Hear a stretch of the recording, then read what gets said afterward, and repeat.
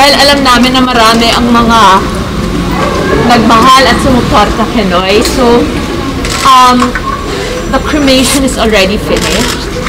Uh, tomorrow, we will have a mass in Ateneo for him. And on Saturday, we will bury him beside our parents in Manila Memorial. Um, ganun kasimple lang. Sana maintindihan ninyo na we did not think it would happen this soon.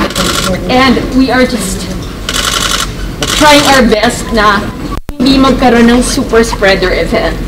Ah, nagpapasalamat kami sa lahat ng mga nagpapadala ng kanilang mga condolences, sa lahat ng mga nakikita namin na mga nakikiramay sa amin, sa lahat ng mga mayor, sa lahat ng mga gobernador, sa lahat ng mga establishmento na on their own nag-decide na ihasta ang mga bandila ng Pilipinas.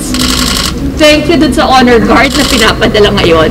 Pero, nire-respeto po namin na nandito pa rin tayo sa gitna ng isang pandemya. And we would have wanted uh, so much more for our brother. Maraming salamat sa Malacanang dahil nag-reach out sila. Maraming salamat kay Presidente Duterte dun sa kanyang nararamdaman namin na sinseridad na pagkokondol sa pamilya namin.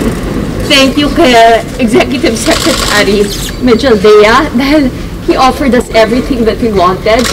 Um, under normal circumstances, Noy served in Congress, Noy served in the Senate, and he could have like he could have be, been lying in state in Malacanang. But nire-respeto namin na hindi pa lahat ng tao sa Pilipinas ay nababakunahan. So what we have decided as a family right now is that we know that there are people waiting outside. So we are we spoke about it. Our plan was really to just take the urn of our brother with us. Pero bibilisan lang namin ito at maraming salamat sa pulis ng Tagig sa kanilang pagpunta dito para bigyan kami ng assistance. It will just be one hour habang hinihintay namin because the honor guard will be arriving and there is a brief ceremony.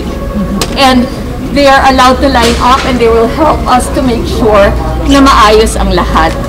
Um, the rest of the plans ay yun pa lang na pag-uusapan namin. Pasensya na hindi talaga namin ito inaakalang mangyayari. Nagulat talaga kaming lahat. Um, I wish I could say more. The only thing I can say, and and this is the only thing I will say. God blessed me because we made our peace May 8. But that is private. And I would like to keep that for myself. But I am so grateful na binigay yun sa akin. At nagpapasalamat ako na napatawad ako at minahal ako.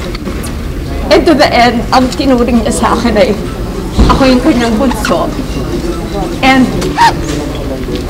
pinangako ko sa kanya, gagawin kong lahat to just be even 1% of what he is as a man and as a Filipino. Maraming maraming salamat sa pagmamahal na binigay niya sa kanya.